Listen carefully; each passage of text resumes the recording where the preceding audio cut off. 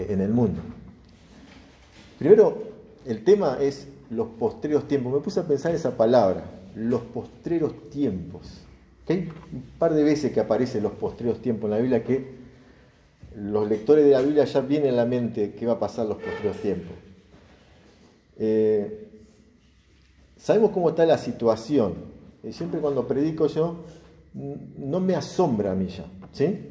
No nos asombre. Los que tenemos luz de Dios, no nos tiene que asombrar todo lo que va a pasar y ocurrir.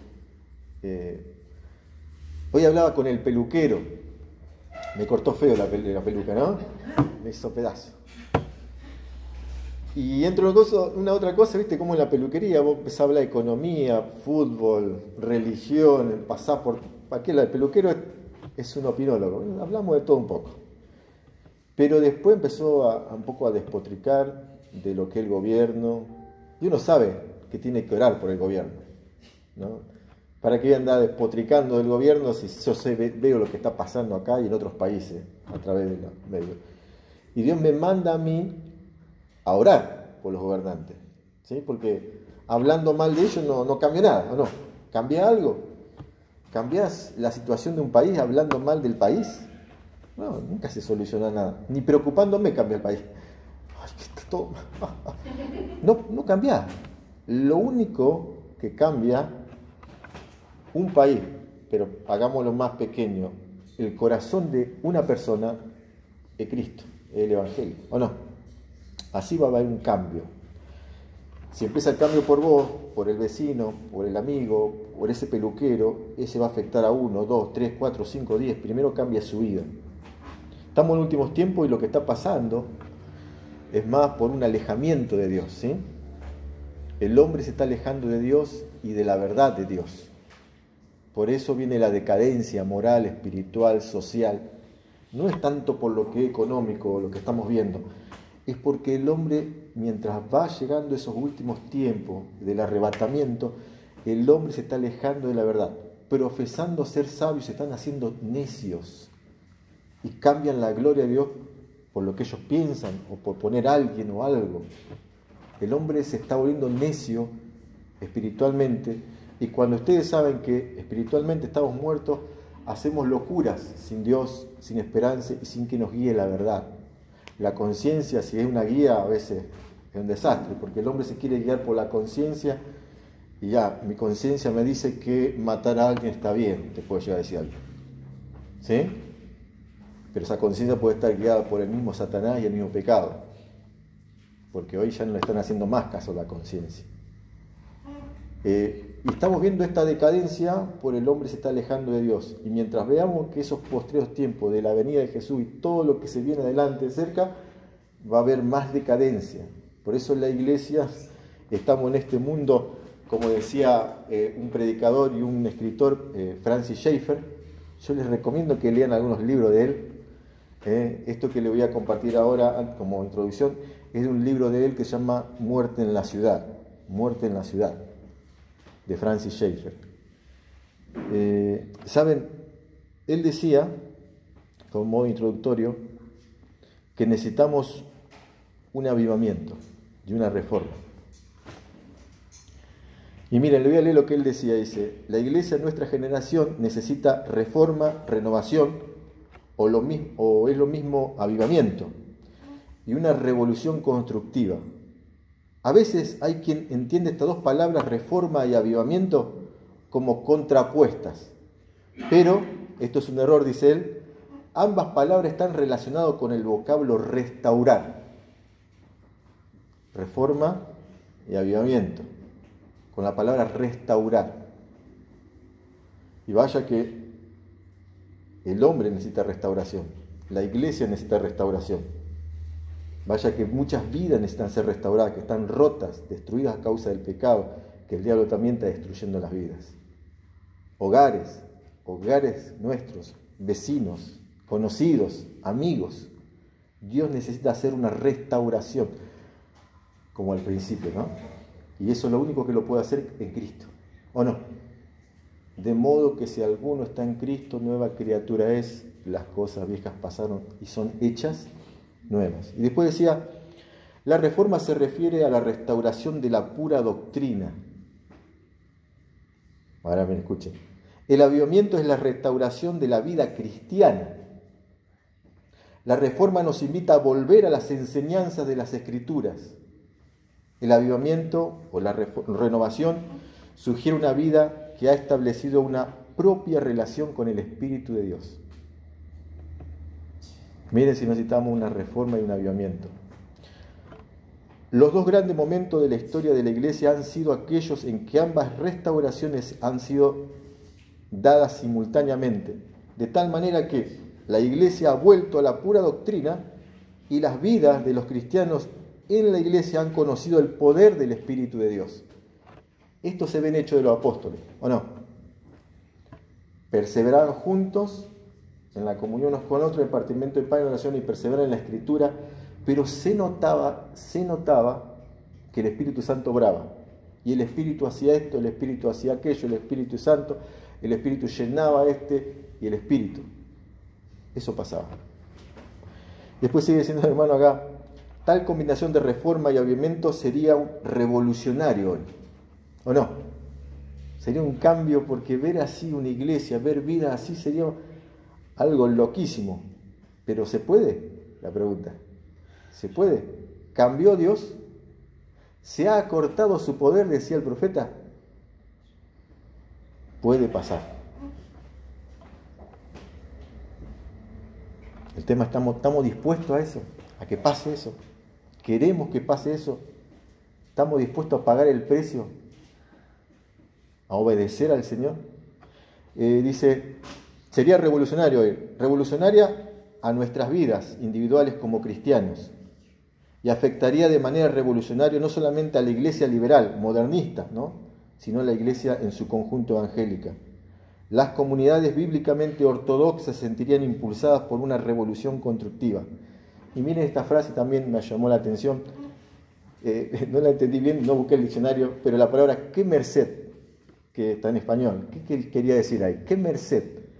Y fíjense en la frase, ¿qué merced nos haría el cielo si nosotros pudiésemos conocer la realidad tanto de la reforma como de la renovación? Que este pobre mundo pudiera contemplar a una porción, al menos, de la iglesia, volviendo a la pura doctrina y viviendo una vida llena del Espíritu Santo. Hasta ahí lo que decía el hermano. Y como le decía, mi tema en estos minutos era los posteriores tiempos, porque simplemente quiero recordarle que lo que dice, primero, lo que dice en Colosenses, vamos a Colosenses, miren, y yo lo tengo en otra versión, Colosenses capítulo 2, antes de recordar los otros pasajes. La porción es 2 del 1 al 10. ¿sí? Ahí los que tienen lapicera, escríbanlo, después lo leen en la valera. Pero presten atención a la lectura, porque ya la Biblia sola, escucharla o leerla, nuestra fe se puede aumentar o crecer. ¿Sí? Prestemos atención. Es más, cuando preparaba esto me acordaba de Nehemías. ¿Se acuerdan cuando eh, se estaba eh, leyendo la escritura? Y algunos no tenían la porción de la escritura ahí. Entonces, ¿qué hacían? Ponían todo su discernimiento o atención para oír atentamente lo que se decía, porque no todos tenían una Biblia en ese momento. Entonces, qué importante anotar y después leer, releer o escuchar atentamente lo que se está leyendo. ¿sí? Para eso también el que lee tiene que leer lo mejor posible. Todo entra. ¿sí? Por eso la porción esta que quiero leer está en Colosenses 2 del 1 al 10. Dice, quiero que sepan, y voy a resaltar una parte después, cuánta angustia he sufrido por ustedes y por la iglesia en la Odisea y por muchos otros creyentes que nunca me conocieron personalmente, dice el apóstol. Quiero que ellos cobren ánimo y estén bien unidos con fuertes lazos de amor. Quiero que tengan la plena confianza de que entienden el misterioso plan de Dios que es Cristo mismo. En Él están escondidos todos los tesoros de la sabiduría y el conocimiento. Le digo esto a ustedes para que nadie los engañe con argumentos ingeniosos. Pues si bien estoy lejos, mi corazón está con ustedes y me alegro de que viven como deben hacerlo y de que su fe en Cristo se mantiene firme. Por lo tanto, de la manera que recibieron a Cristo Jesús como Señor, ahora deben seguir sus pasos. Arraíguense profundamente en Él y edifiquen toda la vida sobre Él. Entonces la fe de ustedes se fortalecerá en la verdad que se les enseñó y rebosarán de gratitud. Miren, esto es lo que recordaba primero. Arraíguense en Él. Y me vino la idea a la mente esta. Claro, una planta que tiene una buena raíz es difícil arrancarla o que los vientos lo muevan, ¿o no? Que tenga buena raíz hace que sea bien firme. La idea es nosotros, porque ya en Cristo estamos completos, lo tenemos todo, ¿o no? En Cristo ya estamos unidos, estamos arraigados. El tema es que nosotros tenemos que crecer en esa relación con Cristo para que nos va a afectar todo lo que va a pasar. ¿Sí? Vamos a llorar, nos va a doler, o vamos a orar más intensamente. Algo tiene que pasarnos. Al ver, con Jeremías veía el dolor de la gente y lloraba, pedía y predicaba y no le hacían caso. Eh, eh, Noé también le pasó lo mismo. Viene el juicio, nadie le hacía caso. Está todo loco, están locos ustedes, está loco vos, Noé. Pero nosotros tenemos que arraigarnos más profundamente en Cristo, nuestra relación, para que cuando vengan las crisis que van a pasar, las tormentas, las pruebas, las luchas, los conflictos, eh, interno o externamente, estés tan firme en Cristo, tan arraigado, que por así decirlo lo pases de taquito. ¿Sí? Pero sí va a pasar que hay hermanos que no se van a estar arraigando y profundizando en su relación con Cristo. Y va a venir una tormenta y los va a llevar rapidísimo. Los va a confundir, los va a desanimar, los va a desalentar. Los problemas, ¿se acuerdan la parábola del cimiento? Les va a pasar, a todos nos va a pasar. Pero arraigate en Cristo. Eso es lo que les quiero decir esta noche. Arraigate más en Cristo. Eso es lo que te va a sostener. Si vos te regáis Cristo, te aseguro que venga lo que venga, no te vas a apartar. Venga lo que venga, lo que veas. Venga el diablo que te va a querer tumbar, los demonios.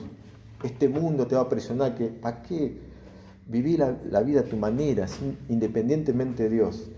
Las ideas que te van a venir a tu mente, ¿Qué haces acá? Arraigarte más en Cristo. Y miren, relacionaba esto con lo que pasa en Mateo 24. Ustedes saben que Mateo 24 nos dice lo que va a pasar después que la iglesia de vaya. Yo, cuando estudié eso, la iglesia se va y va a pasar todo lo que dice Mateo 24. La gran tribulación, la tribulación y la gran tribulación. El hombre necesita volver a Dios necesita volver a Dios. Y nosotros los cristianos necesitamos volver a la escritura y a esa profundidad con conocerlo más a Cristo y al Señor. Miren, recordado estos pasajes, hablando de los posteriores tiempos, Pablo dice a Timoteo en 2 Timoteo capítulo 3 del 1 al 9, y esto le dice que la maldad va a estar en el seno de los integrantes dentro de los grupos religiosos, de las iglesias, porque va a estar este problema dentro, la maldad. O sea, acá nos, somos eh, un grupo pequeño. Dios lo permitió así, tenemos que ganar alma, disipular, crecer nosotros, tanto crecer en número, madurar nosotros, porque también si maduramos nosotros, cuando venga gente vamos a estar preparadas para recibir gente y poder ayudarlo a crecer en la palabra. No nos va a mover cualquier cosa. Es más, si pasan acá problemas doctrinales, los que están arraigados en Cristo, llega a pasar acá, van a saber cómo actuar con la sabiduría de Dios. Si hay problema entre hermanos, los que están en Cristo y están maduros y arraigados y están creciendo en la palabra y quieren practicar la palabra de Cristo, van a saber cómo actuar, porque el Cristo nos enseña sobre esos problemas. Cuando vengan problemas, esto, de aquello, acá van a saber cómo actuar porque están arraigados. Eso apuntemos, a madurar en Cristo. Y miren, Pablo le dice a Timoteo, es bueno que sepas que en los últimos días habrá tiempos difíciles. Recordémoslo, ya lo sabemos, pero bueno recordarlo. Pues la gente solo tendrá amor por sí misma. Recuerden que estoy diciendo otra versión. Pues la gente solo tendrá amor por sí misma y por su dinero. Mire si no le puede estar pasando esto a creyentes como no creyentes. Va a llegar un momento que la gente solo tendrá amor, ¿qué es? Egoísmo. solo pienso en mí. Yo, yo, yo, como siempre se puede decir, ¿no? Yo soy más importante que todo lo demás. El egoísmo, egocéntrico. El centro soy yo. ¿Sí? Pues la gente solo tendrá amor por sí misma y su dinero. Serán fanfarrones y orgullosos. Se burlarán de Dios. Serán desobedientes a sus padres y malagradecidos. No considerarán nada, nada sagrado. Imagínense. No amarán ni perdonarán. Calumniarán a otros y no tendrán control propio. Serán crueles y odiarán lo que es bueno. Serán traicionarán a sus amigos, serán imprudentes, se llenarán de soberbia y llamarán el placer en lugar de amar a Dios. ¿Se dan cuenta que esta es manera de actuar que hoy se ve tal cual? Y esto se escribió 60, 70 después de Cristo. Y esto va a seguir aumentando. ¿No? ¿Te das cuenta cómo actúa el niño, el joven, el adolescente, el mayor por causa del pecado? Así actuamos. Así somos. Y así vemos que va a pasar. Porque esto nos describe cómo es nuestro ser interior y cómo a veces actuamos y tomamos actitud o reaccionamos así. Entonces, para nosotros es como alerta, ¿no? Traicionarán a sus amigos, serán imprudentes, se llenarán de soberbia, amarán el placer en lugar de amar a Dios, actuarán como religiosos, pero rechazarán el único poder capaz de hacerlos obedientes a Dios. Y miren el consejo, aléjate de esta clase de individuos. Pero si yo los quiero convertir, si los quiero cambiar yo, ¿los podré cambiar? En mi fuerza no. Si el Señor no los cambia a ellos, les voy a hablar, a veces esta clase de personas les voy a una vez, dos veces, tres veces, y no quieren cambiar. Tenemos que orar y que el Espíritu Santo, porque hay momentos que vos le podés hablar muchas veces a una persona y ya no quiere saber nada. ¿Qué puede hacer vos? si Dios que podría hacerle así no le quita la vida, no lo cambia, ¿Sos vos el Espíritu Santo? ¿Soy yo el Espíritu Santo? ¿Somos Dios? No podemos. Entonces, hay un consejo sabio acá en este caso. Aléjate de esa clase de individuos, hombres o mujeres. Y que Dios te dé sabiduría cuando tenés que hacerlo. Porque estamos en este mundo para ganar más para Cristo. No es que no tenemos que apartar así, viste, volver eh, solo, solo no vivir como alejado de todo el mundo. Hay gente que Dios nos va a poner ahí para que le hablemos del amor de Cristo y van a salir del pecado. Pero hay gente que no, va a permanecer así. Tenés que darte cuenta, ¿sí? Creo que nos damos cuenta, tenemos que darnos cuenta. Pues son los que se las ingenian para meterse en las casas de otro, y miren la, característica que pasaba en esa época y también puede pasar hoy, pues son los que meten, se las ingenian en meterse en casa de otros y ganarse la confianza de mujeres vulnerables que, cargan con la culpa del pecado y están dominadas por todo tipo de deseos. Dichas mujeres siempre van detrás de nuevas enseñanzas, pero jamás logran entender la verdad. ¡Wow! Estudiemos esto, esta parte, ¿sí? Y fíjense lo que dice acá. Estos maestros, hablando de maestros también, se oponen a la verdad tal como Janes y Jambres se opusieron a Moisés. ¿Tienen qué? Miren características que tienen ahí. Tienen la mente depravada y una fe falsa, pero no saldrán con la suya por mucho tiempo. Algún día todos se darán cuenta de lo tontos que son. Qué fuerte esta, esta frase en esta versión. Por eso te animo a que leas la versión esa, a Valera, versión otras versiones, para ver cómo es tan directo algunas versiones. Y después, si tenés tiempo, analizar en el griego cada palabra. ¿Qué describe? ¿Qué más profundo, no? ¿Cómo son esa clase de personas? Y después dice, es cierto, salté unos versículos adelante, del 12. Es cierto, y todo aquel que quiera vivir una vida de sumisión a Dios en Cristo Jesús sufrirá persecución. Pero los malos y los impostores serán cada vez más fuertes, engañarán a otros y ellos mismos serán engañados. Pero tú debes permanecer fiel a las cosas que te han enseñado. Sabes que son verdad porque sabes que puedes confiar en quienes te la enseñaron, le decía Timoteo, ¿no? Desde la niñez te han enseñado las sagradas escrituras, las cuales te han dado la sabiduría para recibir la salvación que viene de confiar en Cristo Jesús. Paro esta porción ahí. Qué bendición poder leer la escritura. Osito, mejor conocido Osito como Isaías, de pequeño, hoy estamos hablando un poquito, de pequeño conoce las escrituras. Acá también ustedes, hay gente de grande que lo conoció. Miriam también de pequeña. Qué lindo poder conocer de pequeño las escrituras. Y tantos chicos que vienen acá. Qué bendición. Y fíjense una cosa. Hay que permanecer en esas cosas que aprendimos. Nada más. Es complicado. Hay una lucha. Pero tenemos que permanecer en las cosas que hemos aprendido, perseverar en esas cosas, ser fieles en esas cosas. Porque eso nos va a dar sabiduría de Dios para que cuando veamos maldad tengamos discernimiento. ¿Sí? La Biblia te hace sabio en este camino de la salvación.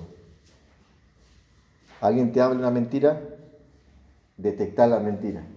Alguien te quiere engatusar, sabio. No. Alguien ve que ve con doble intenciones, pa, está despierto. Alguien Así todo. Dios te quiere dar sabiduría. Y eso es la Biblia. La Biblia, como la otra le decía, informa, forma y transforma. ¿Sí? Eso hace la Biblia. Ojalá que, por eso valorar la Biblia, la palabra de Dios, desde chiquito, valoremosla que tenemos completa. Por eso el Señor ya nos anuncia que en los posteriores tiempos van a pasar estas cosas. Así que por ejemplo, Erika, no te asombres si ves cosas malas. Porque la Biblia te está enseñando que va a pasar. Entonces, ¿qué tenemos que aferrarnos? Al Señor y arraigarnos en Él. Miren, hoy un chico se acercó, estuvimos hablando un ratito, eh, que lo conozco de años, y me dice, conocí un pastor de La Pampa, me dice, de La Pampa, digo yo, ¿quién? ¿Dónde fuiste?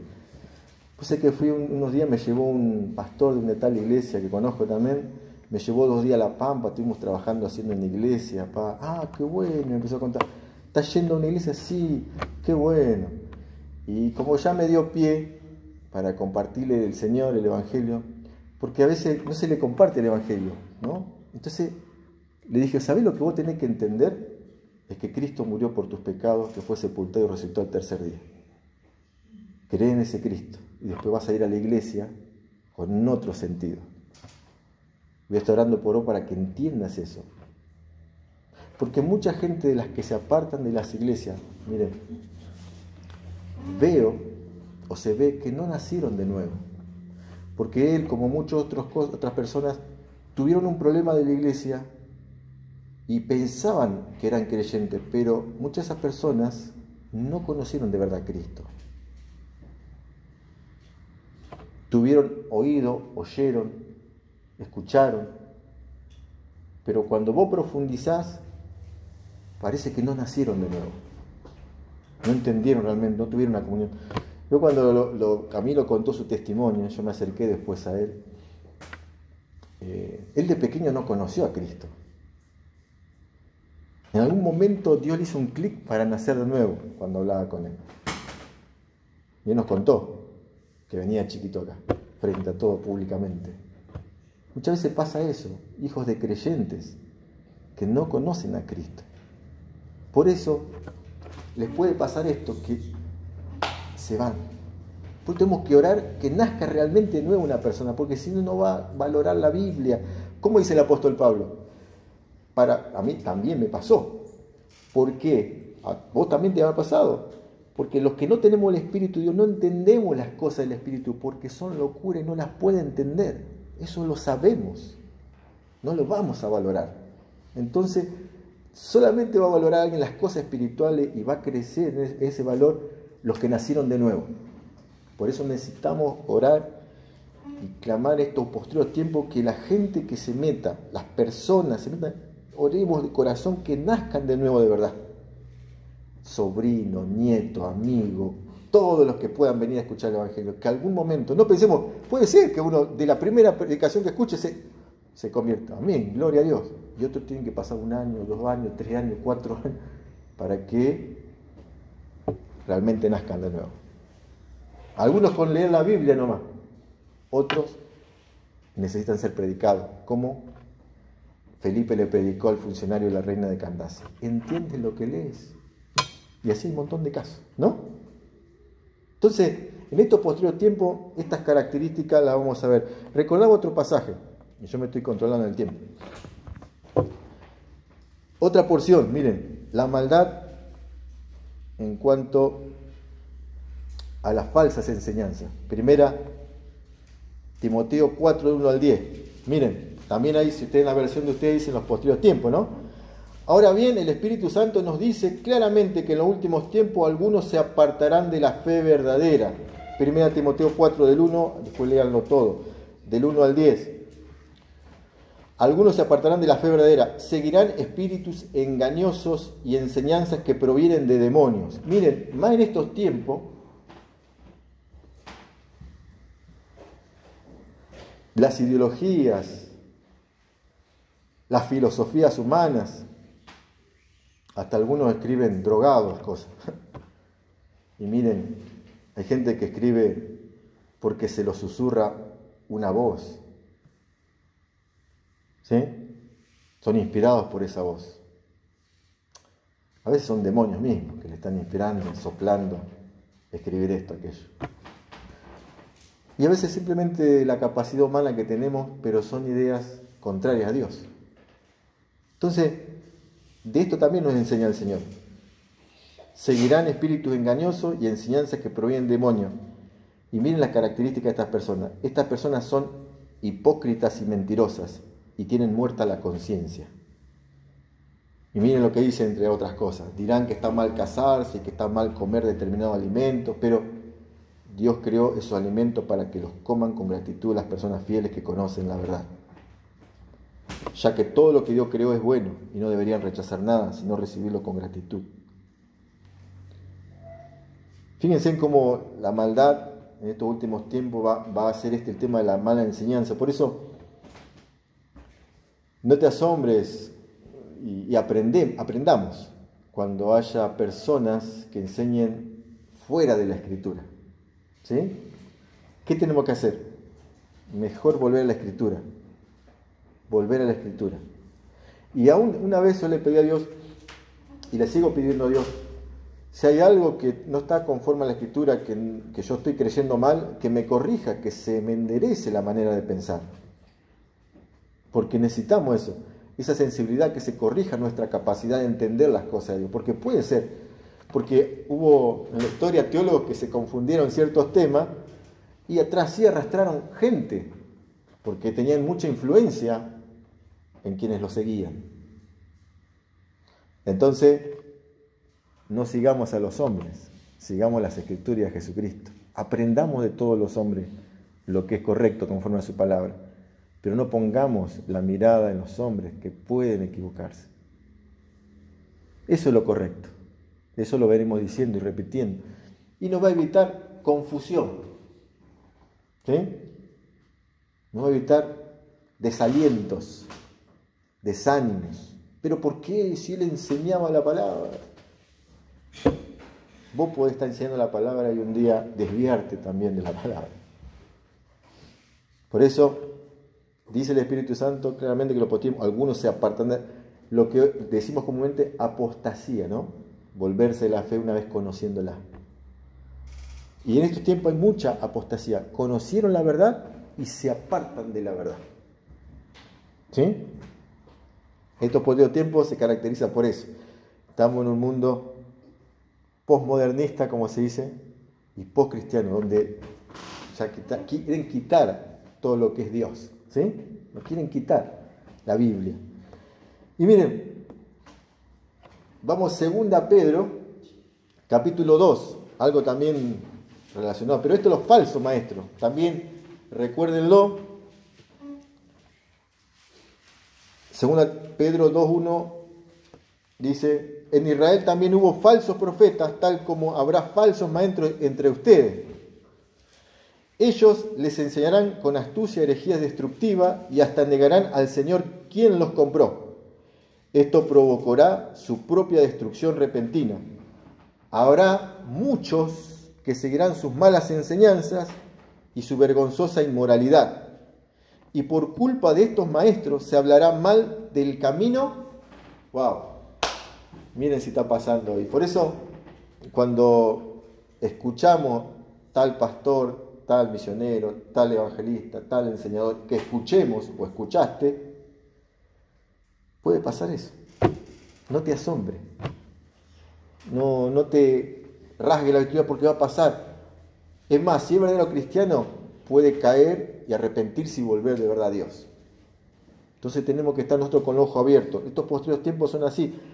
Va a aumentar la maldad, la falsa enseñanza, el engaño y los falsos maestros. Porque si vos lees tanto Judas como segunda Pedro, vos a ver todas las características que describe de estos falsos hombres. ¿Sí? Está ahí. ¿Cómo son? ¿Cómo se manifiestan? ¿Cómo actúan? ¿Cómo tratan? te lo describe. Y es más, cuando vos lo estudiaste te asustás vos, porque si seré yo, yo soy actuando así. Es como que la Biblia, te, el Espíritu Santo misma utiliza esas palabras para decirte, guardate de esto, guardate de aquello para corregirte, ¿no? Porque la Biblia también nos corrige. Por más que esté hablando de otro falso enseñador, otro falso maestro, te corrige vos porque hay características que ellos tienen que a veces vos podés llegar a tener. Entonces te muestra, el Espíritu te pega la, mente, la conciencia y en tu interior. Y miren estos hombres, dice, habrá muchos que seguirán su mala enseñanza, su enseñanza, su vergonzosa inmoralidad, y por culpa de estos maestros se hablará mal del camino de la verdad. Mire cómo se está hablando mal de Dios y del Evangelio. Y eso le encanta a Satanás. Está confundiendo a la gente, ¿sí? Está confundiendo a la gente. Y van a hacer hablar así. Y está pasando. Debe estar entre tu casa, entre los vecinos. Así son, así. Se va a hablar mal.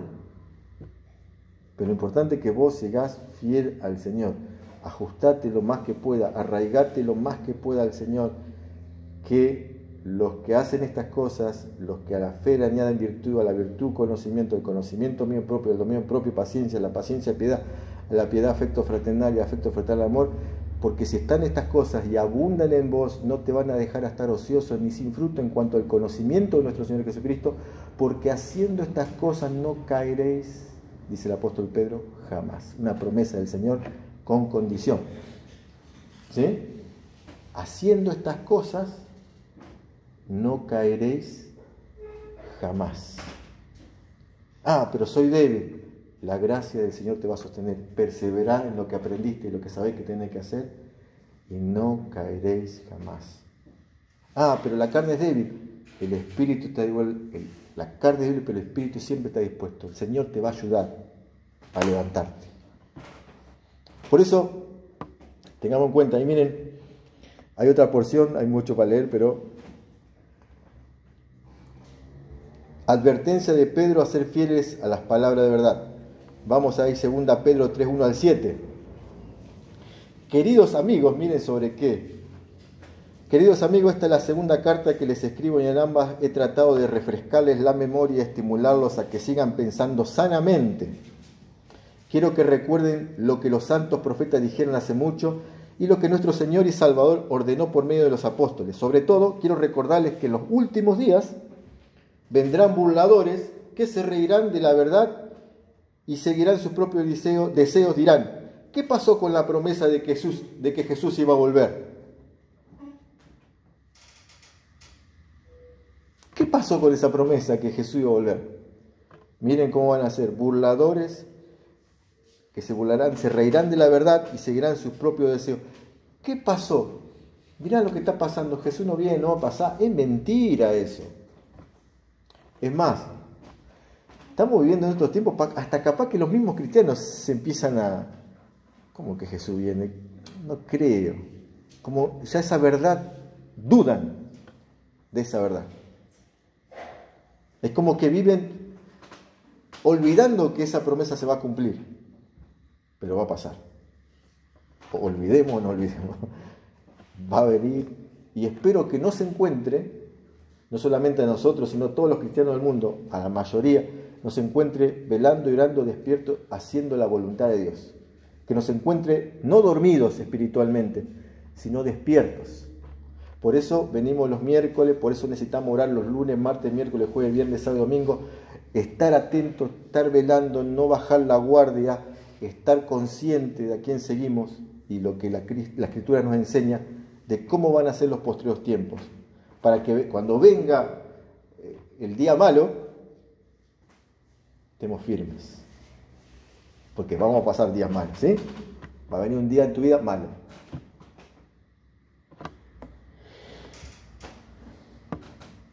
Y bueno, termino con Judas. ya voy 25 minutos. 35 minutos. Está, empecé menos 10 creo. Vamos Judas. Vamos Judas. Vamos a recordarlo también. Judas, versículo 3, en esta versión. Queridos amigos, con gran anhelo tenía pensado escribirles acerca de la salvación que compartimos. Sin embargo, ahora me doy cuenta de que debo escribirles sobre otro tema, para rogarles que defiendan la fe que Dios ha confiado una vez y para siempre a su pueblo santo. Les digo esto porque algunas personas que no tienen a Dios se han infiltrado en sus iglesias diciendo que la maravillosa gracia de Dios nos permite vivir una vida inmoral. ¿Vieron a qué punto la enseñanza? O sea, podés hacer todo lo que quieras, la gracia te lo permite, a eso. La condena de tales personas fue escrita hace mucho tiempo, pues han negado a Jesucristo, nuestro único dueño y Señor. Y, señor. y salto.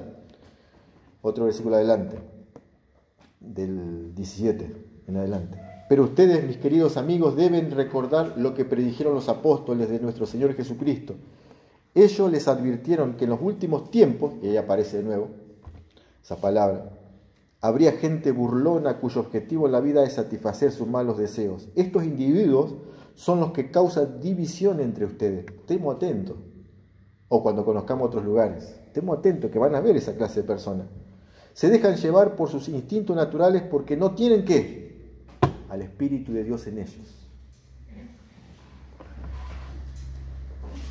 Si no tuviéramos el Espíritu nosotros de Dios, tampoco nos importarían las cosas espirituales y no nos importaría vivir el pecado. Yo sé que haría eso. Yo sé que pasaría eso en mi vida. ¿Qué me detiene?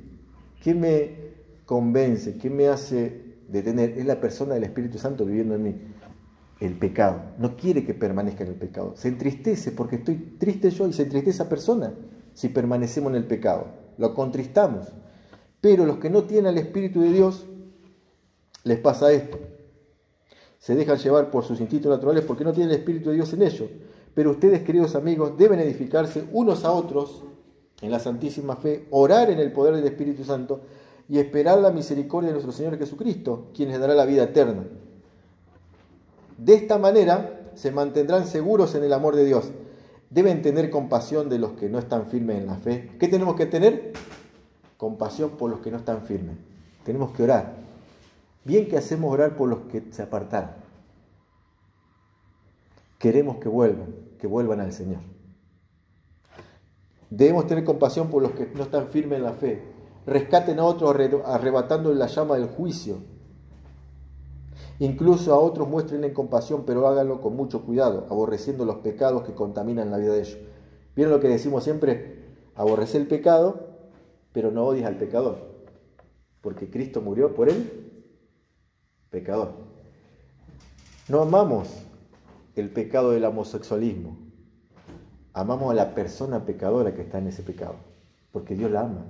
No amamos el hecho de que una persona se pueda prostituir, que es malo a los ojos de Dios, y la destruye, amamos a esa persona que Dios ama. No amamos la mentira, pero amamos a aquel que Dios ama, que es un mentiroso, que Dios lo puede rescatar. no amamos el pecado del asesinato, pero amamos a aquel que Dios puede salvar, como lo salvó el ladrón en la cruz que había asesinado, robado. Dios está salvando hoy a los más pecadores. Y es verdad que muchos pecadores no se vuelven, pero tenemos que aborrecer el pecado, amar a las personas y tener compasión. Porque muchas de ellas pueden llegar a ser nuestros hermanos. Puede ser. Al que pensamos que no puede llegar, puede ser que sea alguna vez tu hermano en Cristo y Dios nos dé una lección de gracia y de compasión. Pasa. Y dice, muéstrenme compasión, pero háganlo con mucho cuidado. Y ahora que toda la gloria sea para Dios, quien es poderoso para evitar que caigan, para llevarlos sin mancha y con gran alegría a su gloriosa presencia, que toda la gloria sea para Él, que es el único Dios, nuestro Salvador, por medio de Jesucristo, nuestro Señor. Toda la gloria, la majestad, el poder, la autoridad le pertenecen a Él desde antes de todos los tiempos, en el presente y por toda la eternidad. Amén, dice, ¿no? En medio de todo lo que vamos a vivir, en los posteriores tiempos y las cosas que no dije y lo que ustedes pueden llegar a pensar o a decir, tenemos que permanecer en las palabras de Cristo. Tenemos que seguir velando y orando para no entrar en tentación. Tenemos que ser perseverantes. ¿Qué otra palabra podemos utilizar? Tenemos que ser persistentes, permanentes, intencionales, esforzados, dedicados, diligentes, osados, entregados, decididos a seguir orando por nosotros, por otros, por la iglesia, por nuestras familias, por los que aún no conocen a Cristo Jesús. Qué importante son las reuniones de oración, qué importante el culto de oración del hogar, qué importante es la oración privada, qué importante es que seamos intercesores, qué importante que seamos gente que ora. ¿Sí? De verdad, que pasemos tiempo con Dios en oración, que hagamos el tiempo para orar, que apartemos un tiempo, mañana, tarde, noche, y si Dios lo permite y vos te esforzás y te disciplinás como Daniel tres veces al día, mañana, tarde, noche lo que sea, pero sé diligente en seguir clamando en estos últimos tiempos. Vos, cuando orás, podés escuchar respuesta del Señor, pero en la oración te fortaleces, te fortaleces, Dios te cambia a vos, te va transformando Él, te vas pareciendo a Él, vas queriendo pensar como Él, como Él siente, como Él ve la cosa, la perspectiva cómo ve las personas, porque te cambia Él, el Señor te cambia. Por eso persistente en la oración en estos posteriores tiempos. La iglesia. Si nos llegan a perseguir, hermano, si nos llegan a perseguir, ojalá que nos encuentre como la iglesia primitiva.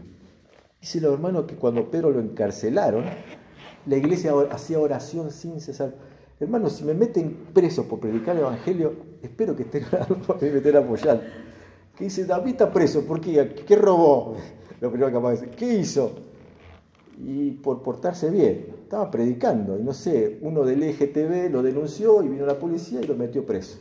Dos días preso por eh, anunciar eh, algo contra la ley, eh, algo así. Yo, por ejemplo, ando con mi habeas corpus acá atrás, saco el papel y dice, déjenme libre. Pero ¿qué pasa? Si nos ponen preso, ya está. Porque la maldad va a aumentar. A lo malo le están llamando bueno y a lo bueno malo. Y esto es así. Pero nosotros, si sufrimos por causa de Cristo, bienaventurados somos en estos tiempos. Es verdad, seamos astutos como serpientes, sencillos como palomas. Es verdad, seamos entendidos en estos tiempos, como son los tiempos, como eran los antiguos, ¿no? Es verdad, seamos bien despiertos en estos tiempos. A veces nos toca huir, escapar, como hacía el apóstol Pablo en ciertas situaciones, y a veces tenemos que quedarnos. Porque algo va a ser Dios a través. Por eso, oremos, permanezcamos en Dios, en la palabra, y en estos últimos tiempos, que el Señor nos ayude a ser perseverante en la oración. ¿No? Estamos en los últimos tiempos. Vamos a orar. Padre Celestial, te agradecemos de todo corazón por este tiempo. Gracias por mis hermanos presentes, gracias por tu palabra. Gracias porque podemos recordarla y hay tanta enseñanza en ella. Señor, ayúdanos a seguir comprendiendo, valorando tu palabra. Y Señor, úsanos para seguir proclamando tus verdades a un mundo caído, a un mundo que se está alejando de ti. Tantas personas que vemos que están viendo lo que está pasando en este mundo, cómo se cae en todos los aspectos, pero sabemos que en Cristo pueden ser hechos nuevas personas, pueden cambiar la eternidad y sus corazones se transformados. Señor, ayúdanos a nosotros como pueblo para que verdaderamente podamos vivir cambios profundos en nuestro interior, una reforma, un avivamiento, un volver a tu palabra, realmente que nuestra vida pueda ser llena todos los días de tu espíritu.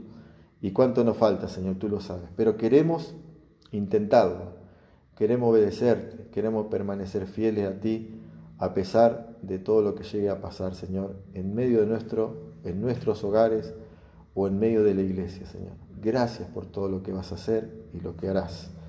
Oremos, oramos en el nombre del Señor Jesús. Amén. Amén.